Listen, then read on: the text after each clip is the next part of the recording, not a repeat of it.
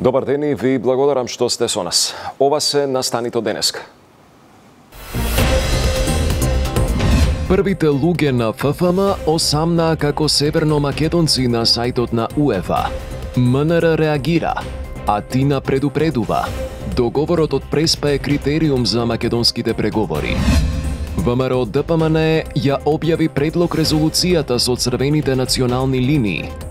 Од СДСМ велат јазикот и идентитетот се веќе меѓународно потврдени. Ке имали одговор против Делта Сојот. Утре одлучува Комисијата за заразни болести. Интервју во вестите со доктор Даниловски.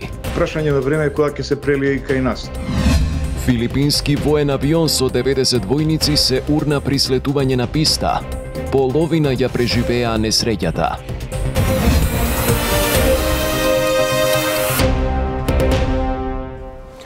Грција повторно го повишува тонот со предупредување дека договорот од Преспа мора правилно да се спроведува за да остане поддршката за почеток на преговори со Унијата. Во пракса продолжува погрешната примена на спогодбата, овој пат на сајтот на УЕФА, каде челниците на ФФМ се представени како северно-македонци. Реагираше македонското манара. Шефот на грчката дипломатија Никос Дендиас испрати нови поостри предупредувачки пораки кон Македонија. Во интервју за вестникот Real News како што објави Мија, вели дека земјава ја има поддршката од Грција за почеток на преговорите со Европската Унија, но како што нагласи под поставените критериуми.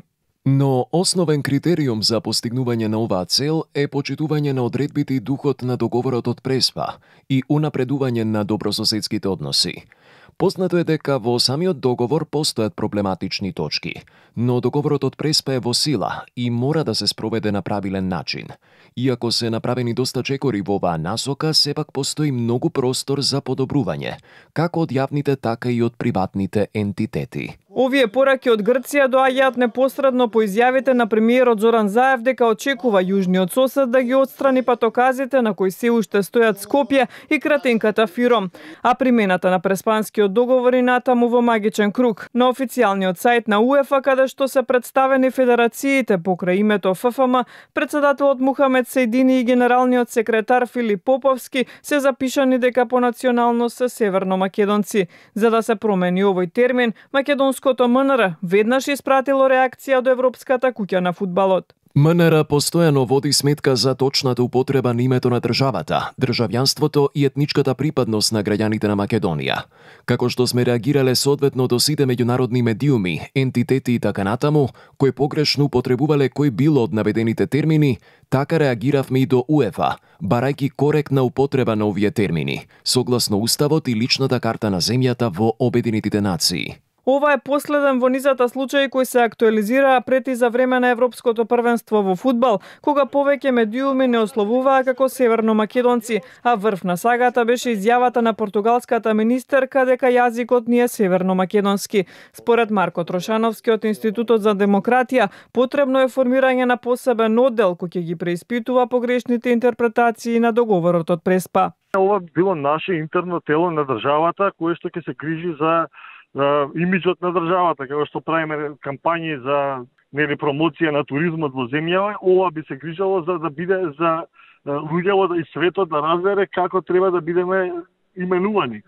Како што можело полека да се домакини за Нидерланд и за Грейт Британ дека дека луѓето што живеат се Дач и дека се English, така и за и за Норд Македонија, она што прво интуитивно дојде да е Норд Македонија, но не е така и е Македонија. Од утре, според најавите, ќе почне издавањето на пасошите со новото уставно име на државата. Од ВМРО ДПМН е повторно повикаа собранието да се обедени околу предлог резолуцијата со која се дефинираат македонските државни позиции. Од СДСМ остануваат на ставот дека македонскиот идентитет и јазик се меѓународно потврдени и признаени. Од албанскиот опозицијски блок дополнително ќе градат став почитување на сознанијата на македонската наука околу автохтоноста на македонскиот јазик и неговиот историски јазичен и културен континуитет, како и на сознанијата според кои македонскиот јазик и неговите диалекти имаат просторен и временски континуитет. Ова се само дел од точките на предлог резолуцијата на ВМРО ДПМН, која денеска ја објави пратеникот Антонио Милошовски на пресконференција. Со резолуцијата партијата ќе побаре државен консензус во однос на преговорите со Бугарија, а секое противење за носење на истата.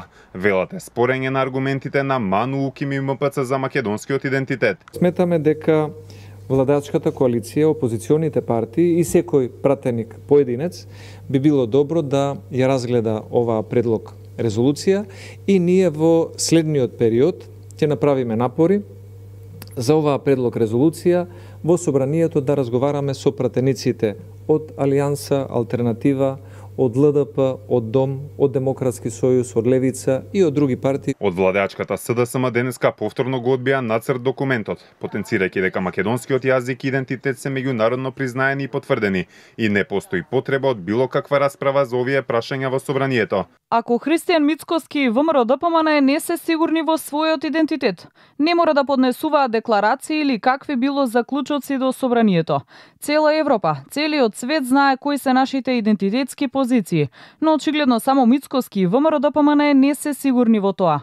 Според најавите, вечерва резолуцијата ќе се разгледува и од највисоките тела на Алијанса и Алтернатива, пошто пратеничката група својот став ќе го произнесе во Македонското собрание. Согласно најавите од ВМРО ДПМН, истата се очекува да се најде пред пратениците во текот на следните денови. Во организација на Сојузот на Сдруженијата на македонците и децата бегалци од егејскиот дел на Македонија Македон, денеска во паркот Жена Борец се одбележа 72 години од крајот на граѓанската војна во Грција, во која најголеми жртви беа македонците и нивните деца. Стануваме посветени на напредување на правата и положбите на македонците во егејскиот дел на Македонија и во цела Елада.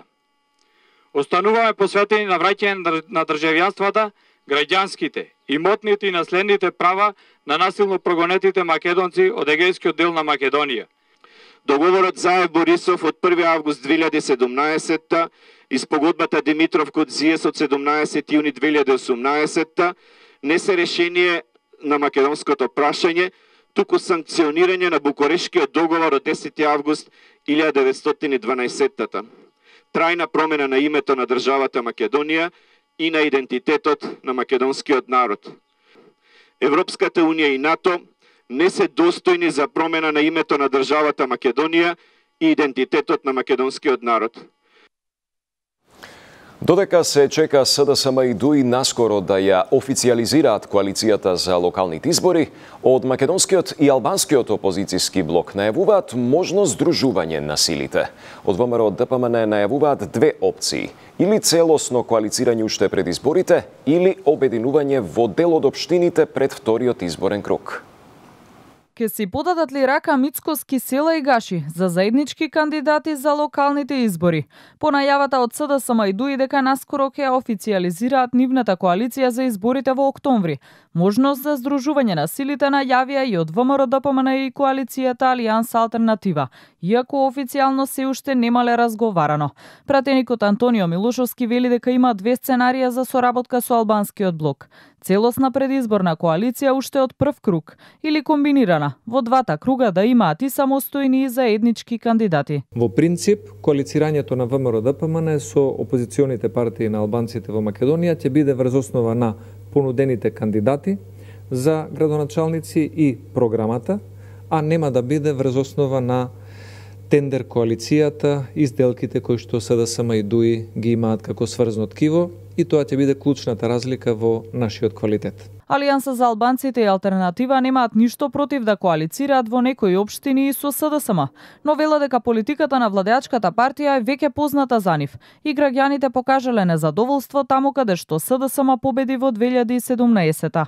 Не правам разлика бидејќи често велам дека нема некоја разлика меѓу ВМРО и СДСМ ако се анализира убаво, ова ВМРО кое што е реформирано, се уште немаме некакви да речам информации како би функционирале или искуства како би биле, а за СДСМ веќе знаеме. Таравари потврди дека повторно ќе се кандидира за градоначалник на Гостивар, а според информациите на Канал 5 негов против кандидат од движењето Беса ќе биде пратеникот Фадил Зендели. Во Тетово ќе се ги одмерат силите Билјалка Самиите утарифи, иако како владеачки партии во некои општини најверојатно ќе настапат заедно. Сепак кои имења од политичките партии од коалициите ќе се најдат на гласачките ливчиња. Официјално ќе се знае во втората половина на јули. За локалните избори се подготвуваат и помалите политички партии. Дом соопшти дека ќе настапи заедно со ЛДП Демократски сојуз и граѓански активисти, што беше причина за кавга во партијата. Десетина општински организации од партијата на Морачани ја оспоруваат ваквата одлука на Централниот одбор, сметајки ја за нелегитимна. Од СДСМ велат дека ги враќаат парите кај граѓаните и во семејните буџети. Информираат дека управата за јавни приходи преку проектот Мој ДДВ на 399.000 корисници од различна возраст во изминатите две години им исплати 36,3 милиони евра. Во првата година, преку мој ДДВ, вратени се над 670 милиони денари, а во втората година, од повратот на ДДВ, преку скенираните фискални сметки, назад кај граѓаните завршија 1,5 милиарди денари. Во првото три месечие од оваа година на граѓаните им се исплатени речиси 414 милиони денари. Зголемувањето на бројот на корисници на апликацијата Мој ДДВ само покажува дека ова е еден од најдобрите и најуспешните проекти на владата предводена од Социјалдемократскиот сојуз. Ке има ли одговор против Делта сојот? Утре одлучува Комисијата за заразни болести. Интервју во вестите со доктор Даниловски. Прашање на време кога ќе се прелие и кај нас.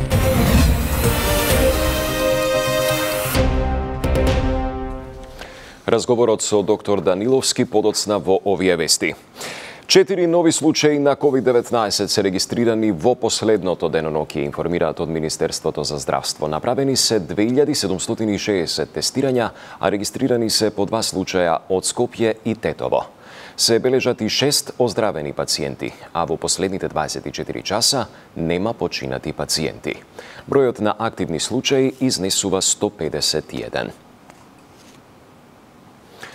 Дали и колку до крајот на летото е дофатлив колективниот имунитет? Доволен ли е интересот за вакцинација? Анализира Сања Трајковска Ставров. Околу 40% е интересот за вакцинација на полнолетните граѓани во земјава од почетокот на процесот на имунизација или за 4 полмесеци на сајтот вакцинација.мк желба за да примат вакцина изразиле околу 484.000 граѓани, а од нив целосно имунизирани се околу 228.000 или изразено во проценти, желбата за да примат две дози вакцина досега ја оствариле 47 од 100 од пријавените. Но колку до сегашниот интерес ветува колективен имунитет со оглед дека за да се постигне тоа ниво е необходно да се имунизира најмалку 60% од населението или до 85% за новите мутации. За сега целосно имунизирани се околу 19% од полнолетното население, под предпоставка дека оние што примиле прва ќе дојдат и на втора доза вакцина, овој процент ќе достигне 30, но сепак ќе останат околу 600.000 граѓани што треба да се имунизираат за да се постигне минималниот праг. Ако се направи статистика од цело население, без да се исклучат децата, процентот на вакцинирани со две дози е околу 11%. И земјите што имаат повисок степен на вакцинација имаат индиски сој, ама за разлика од оние со низок степен на имунизирано население, Нема тешко болни и многу смртни случаи, појаснува доктор Злате Мехмедович. Не е проблемот во тоа дали ние ќе имаме зголемени бројеви, броеви на ПСР позитивни тестови во однос на делта варијантата. Може би поважното е тоа да немаме луѓе кои што ќе имат изразени симптоми, тешка клиничка форма и смртни случаи.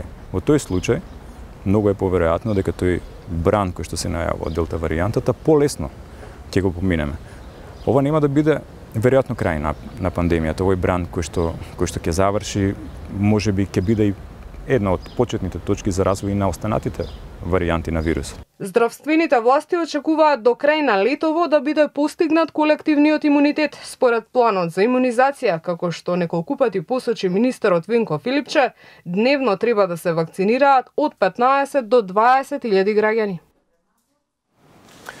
Жители на селото Пештани денеска повторно протестираа на влезот од автокампот Градиште во обид да го свртат вниманието на јавноста за проблемот што го имаат, а во врска со враќањето на нивните имоти одземени со национализација.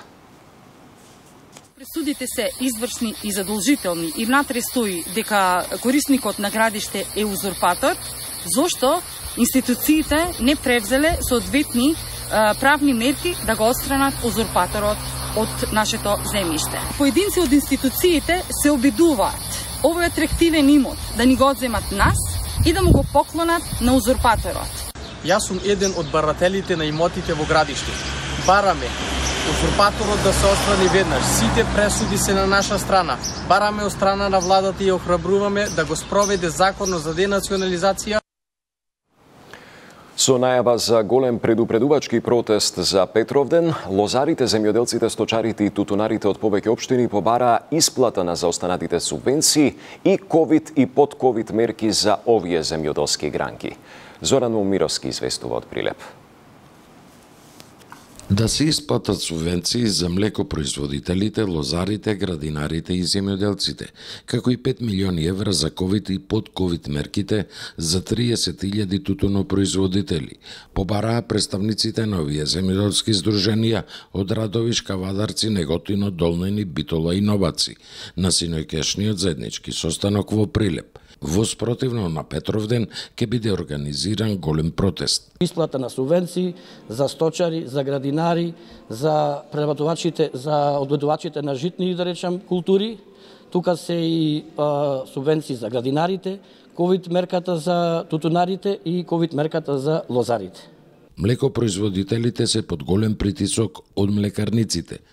Литар млеко се откупува по цена од 15 до 21 денар за литар – Со увозот пак на млеко во прав има тенденција оваа цена да се намалува, а она на преработеното млеко да се зголемува.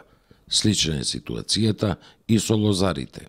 Произведуваме гројзе, а не знаеме кој ќе го откупе, по која цена, а, пошто лани земаа гројзе по 3 динара, по 4 динара, по 6 динара и никој ништо не превзима. Неисплатени субвенции за 20 година за млеко, по грло, значи буквално не е ништо исплатено. Од друга страна, сточната храна веќе оди во нагорна линија и ја нема доволно да се купи на пазарот. Граѓаните сигурно го чувствуваат по цените, чувствуваат недостаток на храна.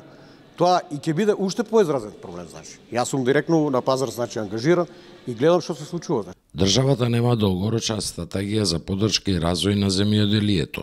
Ке се намалат земјоделските површини, но источниот фонд а Македонија ке се соочи со недостиг од овие вид на производи, предупредуваат сточарите, лозарите, тутунопроизводителите и градинарите.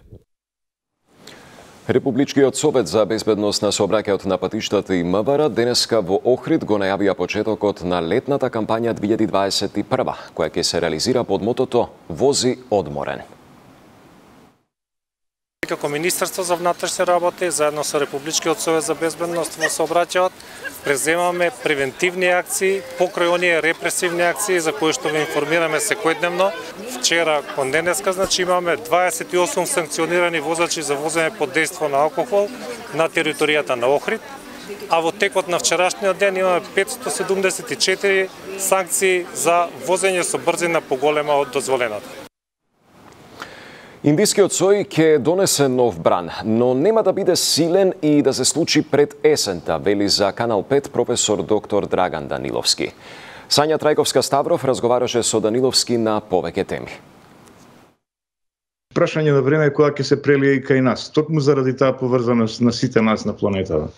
Тоа веројатно ќе биде нема да биде пред есен, зашто дури тогаш нели ќе почнат дружбите во затворено, тогаш ќе залади времето. Не верувам дека ќе се случи силен бран за да се намали ризикот за брз продар на на на преку нашите граници. Добро би било да се воведат бариери. Едната бариера, бариера би можела да биде, само предлагам, да речеме PCR тестови за сите што влегуваат преку граница во нашата земја, особено кон крајот на летото, кога ќе почнат да се враќаат од, од, од одмори. Втора линија на одбрана јавно-здравствена, колективна и општа, би требало да биде ригорозна епидемиолошка обработка на секој нов случај. Доволно ли е за сега овој број на имунизирани за да бидеме подготвени за наесен?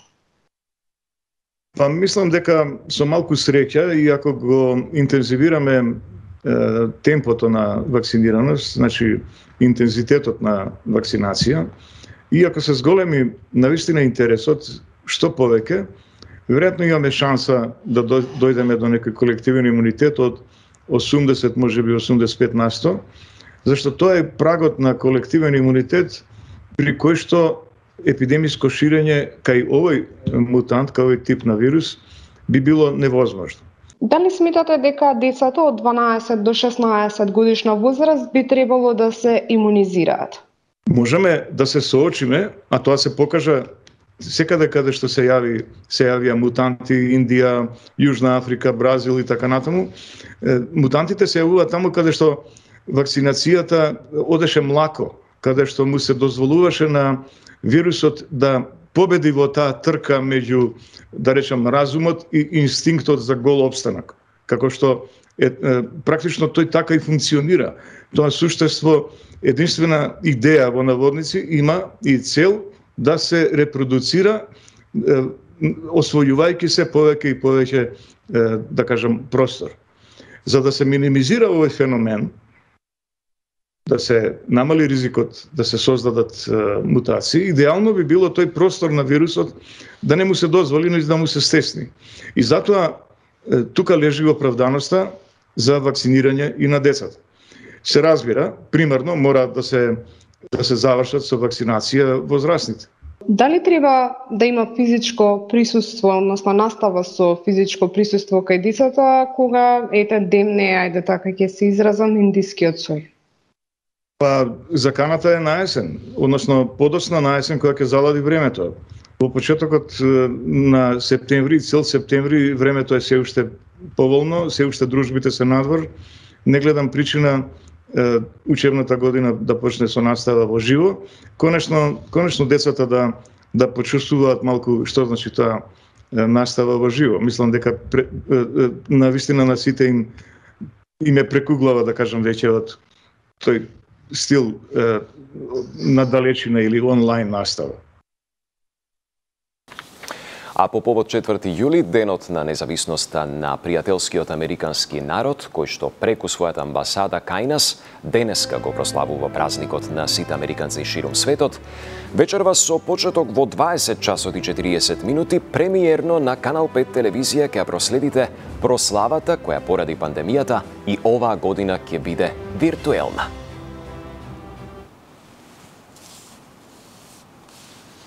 Тука е крајот на вестите. Благодарам за вниманието. Пријатна вечер.